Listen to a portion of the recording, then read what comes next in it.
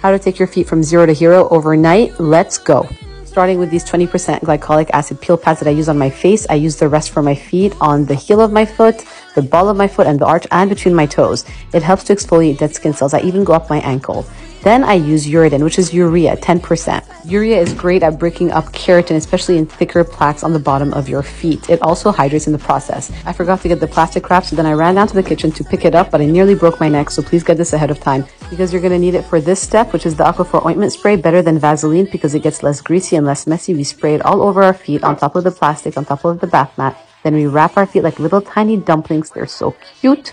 And then we finally stuff them in a cotton sock. Now I pick socks with sayings. This one says be fucking nice because why the fuck not?